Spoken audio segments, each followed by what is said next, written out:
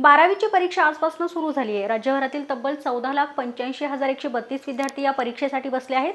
विद्यार्थ्यांच्या आयुष्यातील turning point घेणारे हे वर्ष असतं. त्यामुळे विद्यार्थी देखील परीक्षेची तयारी करत असतात. परीक्षेतील बहुसंख्य विद्यार्थ्यांना कठीण वाटणाऱ्या इंग्रजीचाच पेपर होता. उत्साह हुरहुर परीक्षेचा ताण. अशा संमिश्र वातावरणामध्ये विद्यार्थी असतात. त्याचा ताण कमी करण्यासाठी भावे हायस्कूलला येणाऱ्या विद्यार्थ्यांचं ऑप्शन करून फुले देऊन स्वागत करण्यात आले. जेणेकरून विद्यार्थ्यांचा ताण टेन्शन असेल तर ते दूर व्हावं आणि बिंदास्तपणे त्यांनी पेपर सोडवावा.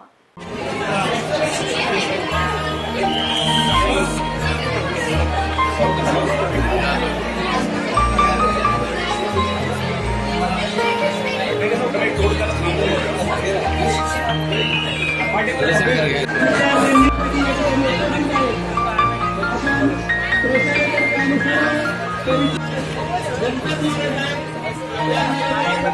kasih